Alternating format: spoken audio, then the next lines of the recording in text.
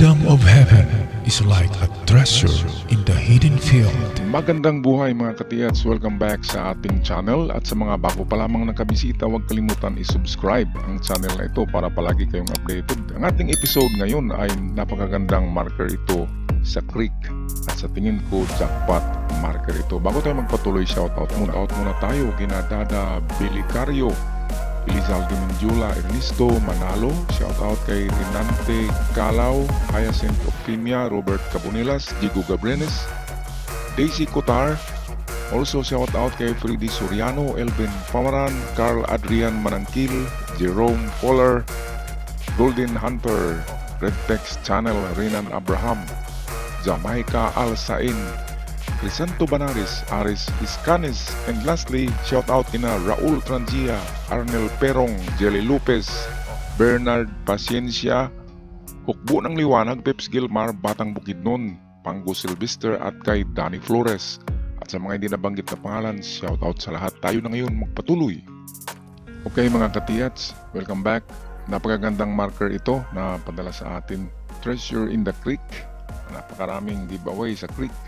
Ang marker na ito, kahit walang ibang marka diyan, sa hugis pa lamang nito, ito'y nagsignify ng isang uh, concrete box.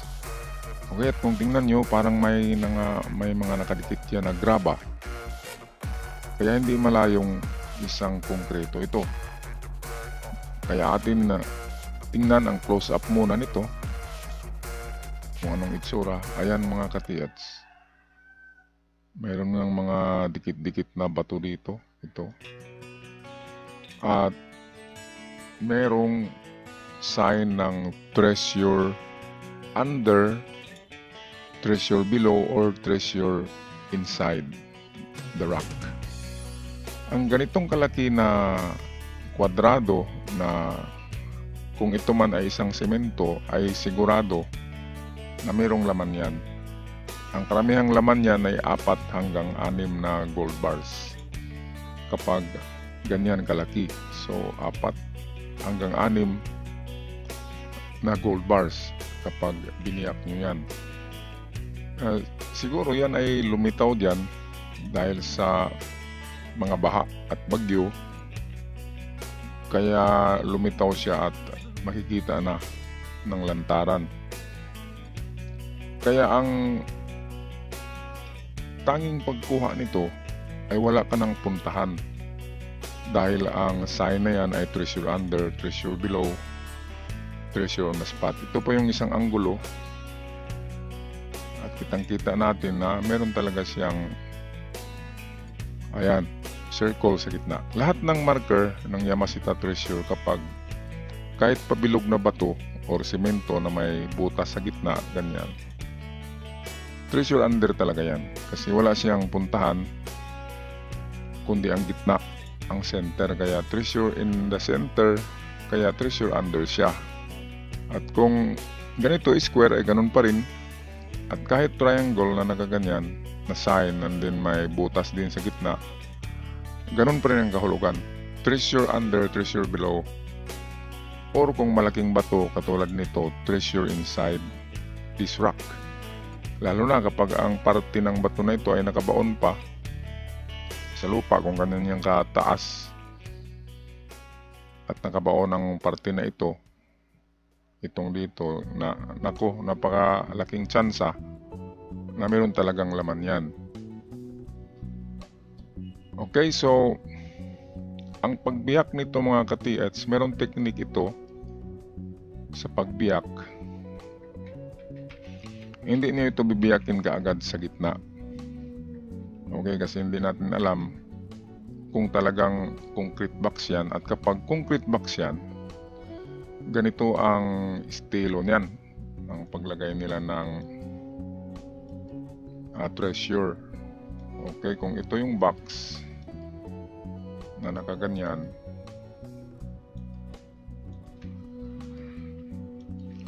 Ayan, so ang pagbiyak nito ay huwag nyo tirahin sa gitna. Kasi kung may laman yan, minsan nilalagyan nila yan ng parang parang booby trap or parang sabihin natin na itong ah, warning device dyan sa gitna. Karamihan yan ay mga itong ah, poisonous chemicals or sabihin natin na mayroong ah, sasabog diyan na nilagay nila. Ang pinaka-safety sa pagbiyak nito, alam naman natin na ang mga giveaway ay walang mga paputok na nilagay diyan, walang pasabog. Pero dapat ingat din tayo. Itong aking ituro ngayon ay tek- technique ito sa malaking treasure box. Ang malalaking treasure box ay may laman na malaking bilang ng gold bars ay merong nilalagay na mga landmines na kung mabundol natin ay sasabog. Kaya ang pinaka the best nito ay ang itong kanto. Ito ang inyong biyakin ng una hanggang sa matanggal ito. At kung makita nyo na may butas diyan, so ibig sabihin ay meron laman. Pabayaan nyo muna na sisingaw siya kasi kung may chemicals, sisingaw yun, yun ang malanghap nyo at bigla kayong mahilo at yung mata nyo ay lalabo ang paningin. So pag nabutas na ito, halimbawa, ay sisingaw na yang kung ano mang laman dyan na chemicals. Pabayaan nyo muna ng kahit isang oras at saka nyo tuluyan biyakin. Okay, kung hollow rock man siya, ay sigurado na yan na mayroong laman. Okay, at expect kayo na hindi kulay dilaw ang makikita nyo sa loob. Magtaka kayo bakit hindi dilaw. Pininturahan kasi nila yan para hindi gaanong ma-detect. Yung ah, pintura kasi nila, alkitran, ay nakapag ano yan, nakapagpahina ng signal ng detection. Kaya hindi na detect karamihan ng Yamashita Golds. Okay, so yan ang pinaka-technique mga katiits. Kanto lamang kahit dito na kanto. Huwag ka agad tirahin ang gitna kasi diyan nila yan nilalagay ang mga sorpresa. Kung pasabog man yan o chemicals, nandyan sa gitna yan. Kaya ito ang pinaka-safety. Ang pagbiyak ay basta concrete box na may laman na treasure. Ang pagbiyak ay kanto. Okay, ang iba sabihin baliktarin. Paano mo baliktarin yan? Ang laki-laki niyan. Kaya kanto ang pinaka the best. Okay, so good luck sa inyong lahat. Atin muna balikan yung ito. Maganda talaga na ano ito, na anggulo. Pero kapag meron ito, kapag may laman ito halimbawa mga katiyat, so pahinga muna kayo at dispose nyo muna ang laman. Ngayon, pwede nyong balikan yan at i-triangulate nyo ang lugar. Pwedeng dito kayo mag-triangulation na ayan, punta kayo dito sa layo na 15 meters uh, umpisa sa 7 to 15 tingnan tong uh, portion dito. Ngayon pagkatapos dyan dito naman kayo another 7 to 15 ganon din ang mga distansya. Tingnan din dito. Okay nakaganyan yan. Ngayon kung wala dyan uh, tatlong ano kasi to dito naman kayo mag triangulate ito na portion. Ayan ganon din ang mga distansya. At kung wala dito naman kayo sa kabila sa kanyang likuran uh, ganyan din yan. And then dito ang panghuli. So yan at triangulation. So ilang triangulation ba ang meron tayo? So meron tayong isa dalawa tatlo apat. Kasi apat naman na direksyon ng compass kaya ang triangulation ay apat din so ganyan ang paghanap ng mga natitirang mga giveaway at ang treasure bunker ay pabayaan na lang natin yon kasi ibang distansya ng treasure bunker kaysa sa mga giveaway.